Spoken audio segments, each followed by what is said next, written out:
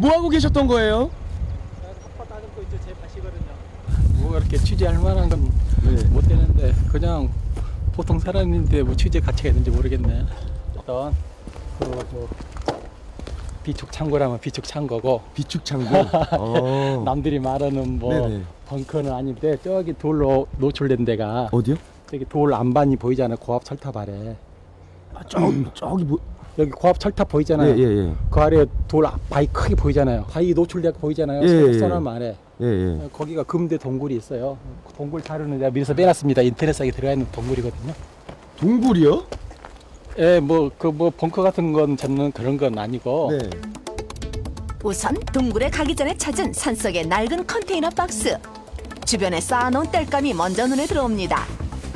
이곳은 달인이 위기 상황에 몸을 피할 수 있는 첫 번째 은신처이자 창고. 위기 상황에서 몸을 피해 한동안 살아갈 수 있는 준비가 되어 있다는데요. 그리고 저곳엔 달인이 가장 공들인 준비가 숨어 있습니다. 하나 부수당 네 달치인데 네 달, 네 달, 네 달, 그러면 4, 4, 12, 12달이잖아요. 이게 1년분, 2년분 얘가 있는 거죠. 지금 이, 하, 이 여기에 이게 이제 2년분 식량 얘가 있어요. 2년 동안. 네, 이제 본격적인 식량 시리즈. 오, 이건 쌀이네 다. 하고 수프, 통조림류, 여기는 식용유, 국수, 비타민. 음. 그 외에도 농사를 지을 수 있는 씨앗과 비상약품들까지 이것만 있어도 든든하시겠습니다. 그런데 손에 든 그건 뭔가요? 아니 가득 찬 식량 창고에 또 뭘 넣으시는데? 독특한 자세로 식량을 채우는 달인 아주 빈틈없이 꽉꽉 채웁니다. 그런데 가만히 보니 힘들게 넣은 통조림들을 다시 꺼내는데요. 그리고 그렇게 생긴 공간에 바깥쪽 통조림을 밀어넣습니다. 그리곤 다시 바깥쪽을 새로 가져온 통조림으로 채우시는데 이렇게 하는 특별한 이유라도 있는 걸까요? 그 로테이션 회전을 시켜야 돼요. 먹고 싶은 걸 사와요. 뭐 그놈을 바로 먹는 게 아니라 그놈을 저장을 하고 예전에 사온 걸 먹는 거죠. 그래서 늘 그 먼저 사온 걸 먼저 불출해서 먹는 겁니다. 2018년까지고 네. 이것은 네.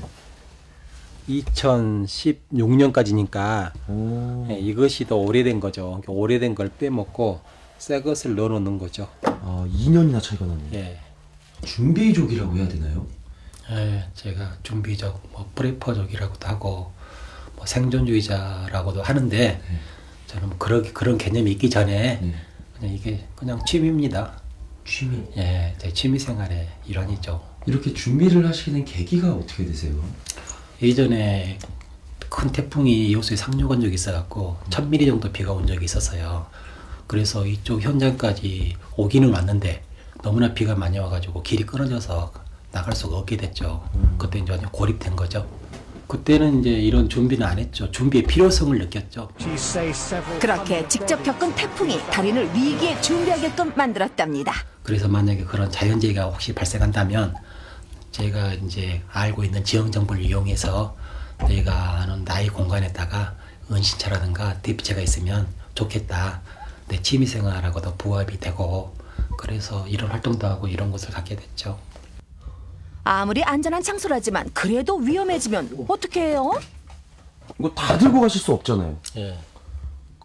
비상사태 때 그러면 어떻게 하세요? 아, 여기 드론 입구에 보면은 네. 가장 빨리 반출할 수 있는 바로 문 근처에 배낭을 매달아 놨어요. 배낭이요? 예. 어디요?